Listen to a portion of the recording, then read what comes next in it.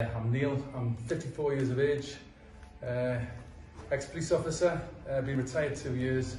I've had chronic back pain for, I would say, 20 plus years, and I've fought it all the way and I've had all sorts of different sort of chiropractors, all switch doctors, you can name it, I've had, all, I've had them all.